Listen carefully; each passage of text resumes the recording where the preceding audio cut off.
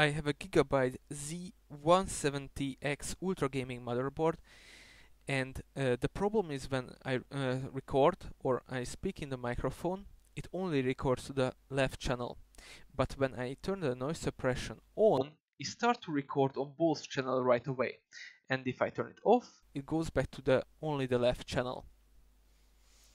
This only happens on this computer on this motherboard I've tested the, uh, the microphone on a different computer and it was working fine